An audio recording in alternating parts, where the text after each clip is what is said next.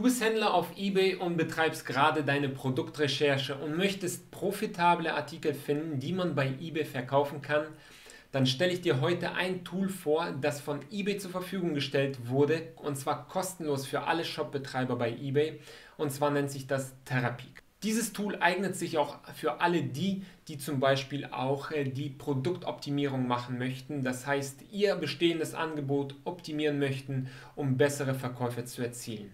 Ich heiße dich herzlich willkommen auf dem Kanal Erfolgreich Verkaufen. Mein Name ist Alex, es freut mich, dass du wieder dabei bist. Wenn du neu auf diesem Kanal bist und dich interessieren Themen wie E-Commerce, Verkaufen auf Marktplätzen wie Amazon und eBay, die Selbstständigkeit, Motivation, Investition und vieles mehr, dann abonniere gerne diesen Kanal, drücke auf die Glocke, so verpasst du kein weiteres Video mehr.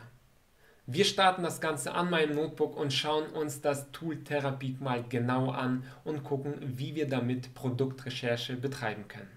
Lass uns loslegen.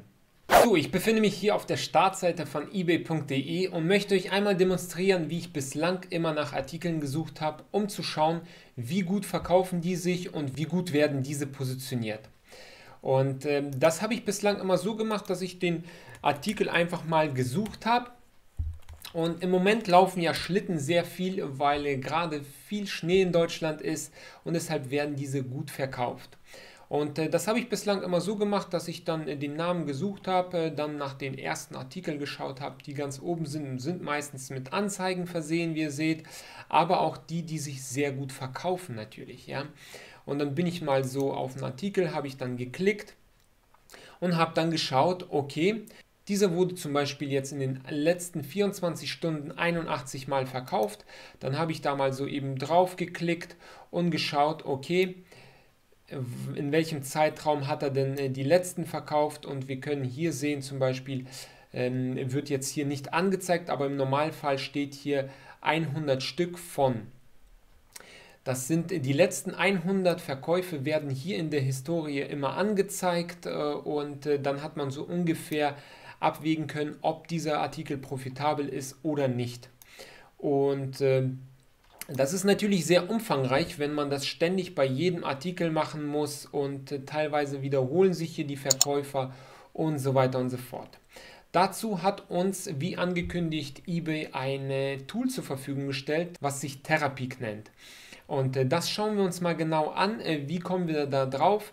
Und zwar, wenn wir hier auf mein eBay Verkaufen klicken, gelangen wir ins Verkäufer Cockpit Pro und können uns das Ganze hier unter der Marktanalyse aufrufen. Und zwar nennt sich das Ganze hier Therapie Produktrecherche. Dieses Tool eignet sich sowohl für die, die gerade nach einem Produkt suchen und vielleicht ein profitables Produkt finden möchten, und für die, die momentan ein bestehendes Produkt haben und schauen wollen, wie sie es optimieren können, wie sie es besser verkaufen können. Sowohl dies als auch das eignet sich äh, dafür dieses Tool, um eine Analyse zu machen. Auch hier geben wir den Schlitten ein und schauen mal, wie gut sich dieser verkauft. Ihr habt hier, wie ihr seht, sehr viele Sachen. Ihr könnt hier den Suchbegriff äh, suchen und ihr könnt zum Beispiel äh, und oder auswählen, was als zweite Bedingung in der Suche berücksichtigen soll. Das müsst ihr aber nicht, äh, deshalb äh, lasst das frei. Das muss nicht unbedingt gemacht werden. Ihr habt hier eine Kategorie, die ihr direkt auswählen könnt. Im Normalfall, äh, wenn ihr den Schlitten jetzt eingegeben habt, schlägt er euch schon Kategorien vor und in dem Falle könnt ihr das hier auswählen. Ihr müsst jetzt nicht unbedingt speziell die Kategorie schon direkt mit auswählen. Der nächste Vorteil ist, es werden alle Marktplätze durchsucht, zum Beispiel ähm, könnt ihr in, äh, auf ebay.de suchen. Ihr könnt aber auch alle Websites, also alle Marktplätze von eBay auf äh, allen anderen oder in allen anderen Ländern suchen und demnach das Ganze vergleichen. Wenn ihr eure Suche aber auf Deutschland begrenzen wollt, solltet ihr das natürlich hier auch beibelassen.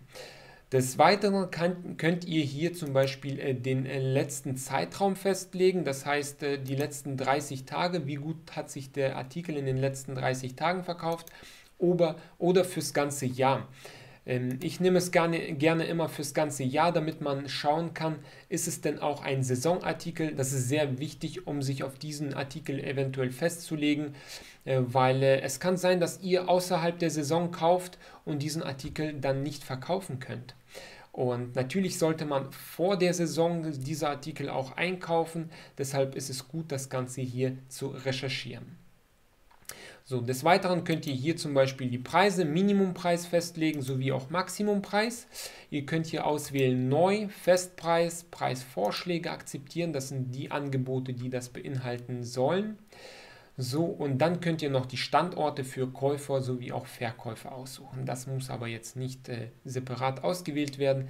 Es reicht, wenn ihr hier einfach nur auf alle das Ganze auf Standard belässt.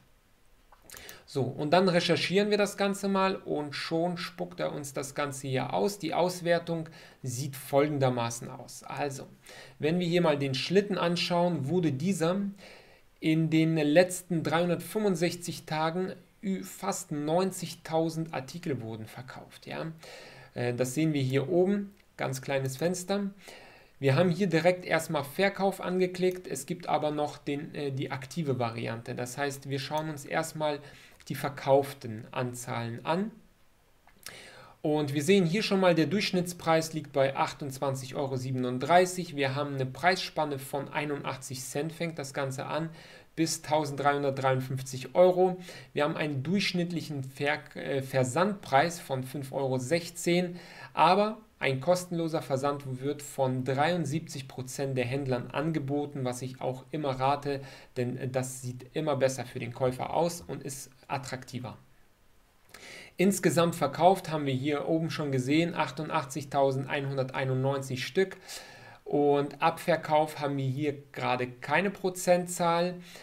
Denn des Weiteren haben wir hier die Verkäufer insgesamt. Es waren 2617 Verkäufer, die in dem Suchbegriff Schlitten etwas angeboten haben. Und dann haben wir auch hier die Gesamtsumme von 2,5 Millionen Euro. Und ähm, dann haben wir darunter direkt schon die Angebote und können hier schon einige Daten sehen, die für uns interessant sein können. Ja? Und zwar sehen wir hier die Gesamtzahl der Verkäufe. Wir sehen hier die Gesamtzahl des Umsatzes. Wir sehen, wann der Artikel als letztes verkauft wurde und ein paar Einzelheiten, die vielleicht jetzt hier für die Angebote nicht angegeben sind. So. Und äh, dann können wir natürlich jedes Angebot direkt anklicken, uns das separat anschauen. Was für uns natürlich wichtig ist, welches Angebot wie viel Umsätze hier und Verkäufe generiert hat. Und das Ganze ist hier tatsächlich sehr, sehr gefragt in letzter Zeit. Was ihr noch machen könnt, ist hier einen Verkaufstrend anzeigen lassen und da können wir zum Beispiel auch sehen, ob es sich hier um einen Saisonartikel handelt oder ob das das ganze Jahr über gefragt ist. Und wie wir hier sehen, ist es tatsächlich ein Saisonartikel, was von einem Schlitten auszugehen ist, natürlich. Und ähm, das ist jetzt erstmal der durchschnittliche Verkaufspreis, der interessant ist und ähm, wir sehen hier, dass der Verkaufspreis um einiges sich erhöht zum Winter hin, natürlich, wo die Saison ist. Des Weiteren können wir hier blättern und schauen, wann werden die, die meisten Schlitten verkauft. Und wir sehen hier, ab November bis Februar ist hier die Saison dafür. Das heißt, wenn du diesen Artikel verkaufen möchtest, dann solltest du hier definitiv im Oktober, vielleicht schon September, dich mit diesem Artikel bewaffnen bzw. Lagerbestand äh, dir anhäufen, um dann sehr gute Verkäufe in der Saison machen zu können. Dann haben wir noch hier das Ganze ähm, zueinander gestellt und wir sehen hier ist auch hier der Anstieg zu sehen und wir haben noch einen Marktanteil, den wir uns hier anschauen können. 10% der Verkäufer haben 80% des Umsatzes erwirtschaftet. Das heißt, für uns äh, in dieser Branche kann man definitiv Geld verdienen, denn äh, die Konkurrenz ist in dem Falle nicht so groß. So, schauen wir uns das Ganze mal dann in der aktiven Ansicht an. Das heißt, ähm, hier werden uns jetzt Angebote angezeigt, die gerade aktiv sind. Und hier anhand dieser Zahlen können wir auch schon einiges rauslesen. Wir haben hier jetzt einen durchschnittlichen Angebotspreis von 125 Euro. Das heißt, der Preis für Schlitten ist sehr stark ähm, nach oben gegangen. Warum? Weil einfach die Nachfrage sehr groß ist und die Nachfrage bestimmt definitiv auch den Preis, aber natürlich auch das Angebot, wie ihr wisst. So, dann haben wir hier nochmal einen Angebotspreisbereich von 1 Euro bis 4000 Euro. Okay, hier sind wohl äh, größere Schlitten mit dabei. So, dann haben wir einen durchschnittlichen Versandpreis von 17 Euro. Das interessiert uns nicht so groß. Äh, kostenloser Versand wird in dem Falle 42 Prozent ähm, angezeigt. Und wir haben hier Anzeigenprozentzahlen. Hier sehen wir nämlich jetzt, wie viele Beobachter, hier sind einige Daten dazugekommen, wie viele Beobachter die Verkäufer haben und wie viele Anzeigen denn geschaltet werden für das jeweilige Angebot. Und wir sehen hier 44 Prozent, also die Hälfte der Angebote sind mit Anzeigen versehen. Deshalb ist es auch wichtig, dazu habe ich schon Videos gemacht, verlinke ich dir unten in der Beschreibung, wie du bei eBay Anzeigen schalten kannst für deine Angebote, um besser zu verkaufen. Und man kann so sehen, dass äh, die Beobachterzahl ein großes Indiz dafür ist, dass dieser Artikel sehr groß äh, und sehr stark gefragt ist. Und deshalb äh, kann es sich durchaus auch für dich lohnen, diese Artikel hier mit anzubieten. Wir sehen hier, das sind diese Schneeflitzer, Schneerutscher, ähm, und die sind sehr gefragt und werden äh, sehr günstig verkauft und äh, das meiste, was verkauft wird, ist halt das günstige. Ja?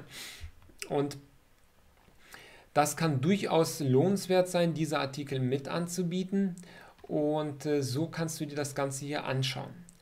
Was können wir hier noch sehen direkt ist für die, die beispielsweise jetzt schon Angebote haben und vielleicht ihre Angebote optimieren möchten, dann sehen wir hier, welche Keywords bzw. welchen äh, Angebotstitel der Verkäufer benutzt. Äh, und da kann man sich einiges abschauen, um auch eventuell ein paar Sachen mit zu übernehmen, um ähm, ungefähr die gleichen Verkäufe erzielen zu können. Und wir sehen hier zum Beispiel, äh, er hat einfach Keywords benutzt, äh, die tatsächlich häufig gesucht werden, genauso auch wie dieser hier wobei ich mir gut vorstellen kann, dass der, dass der gleiche Verkäufer ist.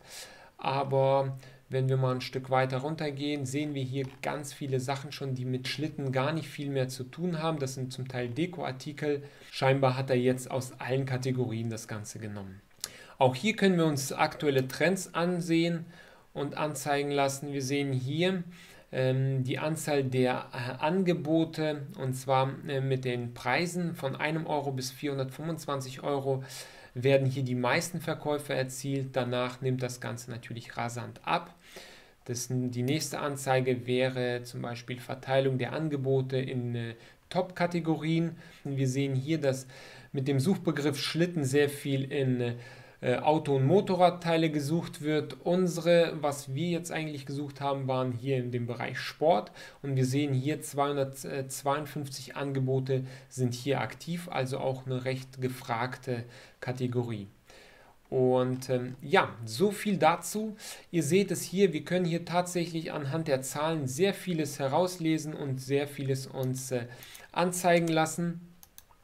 Dementsprechend äh, nutzt dieses Tool, versucht damit ein bisschen zu spielen und guckt euch an, wie ihr das Ganze hier für euren Nutzen nutzen könnt und damit äh, dann eure Angebote anpassen könnt äh, oder eventuell Produktrecherche betreiben könnt, um einen neuen Artikel äh, zu kaufen und wieder zu verkaufen. So viel zu dem äh, Therapeak Tool. Äh, wenn du noch weitere Fragen hast, schreib mir unten gerne in die Kommentare. Ich werde diese so schnell wie möglich beantworten. Ich freue mich, wenn du einen Kommentar dazu schreibst, wenn du keinen Shop abonniert hast äh, und dennoch Therapeak nutzen möchtest, um Produktrecherche zu betreiben. Würde es mich freuen, wenn du mir sagst, was das denn für die, die keinen Shop-Abonnement haben, kosten soll. Ansonsten bedanke ich mich fürs Zuschauen. Wenn du diesen Kanal noch nicht abonniert hast, dann freue ich mich. Drücke auf die Glocke, so verpasst du kein weiteres Video mehr. Ich wünsche dir viel Erfolg bei der Produktrecherche, viel Erfolg beim Verkaufen und bis zum nächsten Video. freue mich, wenn du das nächste Mal dabei bist. Alles Gute, tschüss.